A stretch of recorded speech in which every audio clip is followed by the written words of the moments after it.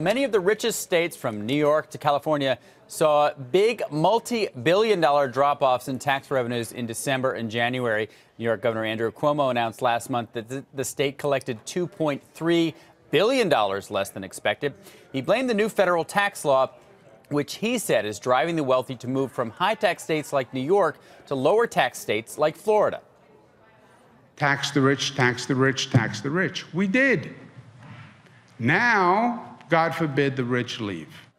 Now, almost every other high tax state, you look at California, Connecticut, New Jersey, Massachusetts, they all reported huge shortfalls in December and January compared with their original forecast. California's tax receipts came in $3.4 billion light. Now, tax receipts, uh, tax experts and accountants tell me that the fall off probably wasn't due to wealth flight but the stock market, and specifically that big drop we had in December.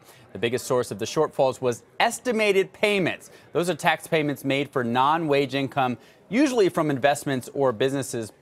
Now, tax, tax advisors say wealthy investors sold stock in December during those market declines to get the tax losses that lowered their tax bills, but of course created this big shortfall for the states. Now, Moody's saying in a report the revenue decline was owed in part to a volatile stock market's impact on capital gains income. The markets are back, of course, so far this year broadly, but those losses can be carried forward, so there could be more of a price to pay for those December declines. Guys, back to you. David, uh, um, Cuomo seemed to be blaming the lack of the SALT deduction, but it's going to be this tax season that everybody suddenly really deals with the fact that they're not getting that deduction. My sense would be, and especially given your reporting that it was more about the stock market, that that exodus he's talking about is yet to really come or come fully.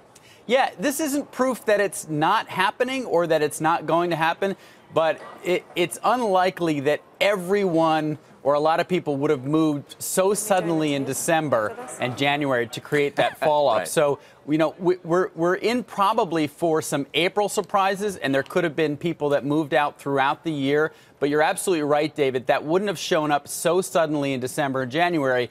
I think it's going to be sort of an initially a slow trickle of people out and a slow decline in revenues as opposed to something this sudden. But I think we're going to see a lot of surprises in April. Like whenever you change the tax code this dramatically, you're going to get some surprises, maybe on the upside, possibly on the downside.